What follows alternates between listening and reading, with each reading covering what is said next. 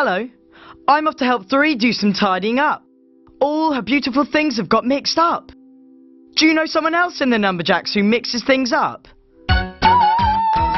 She's mean, she's bossy, she's very cruel. Yes. Spooky Spoon. I am Spooky Spoon, the greatest mixer of them all! She loves stirring things up and mixing them. Time for some stirring. She mixes up light things and heavy things.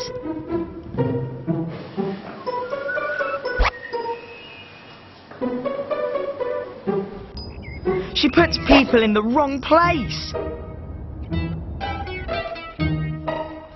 That's a very big baby.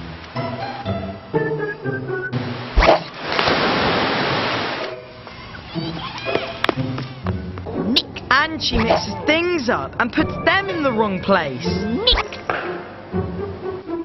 She makes people do things in the wrong order. You're supposed to put your socks on first, and then your shoes. Things that should move don't move. Roundabout won't spin anymore. It's not much fun now.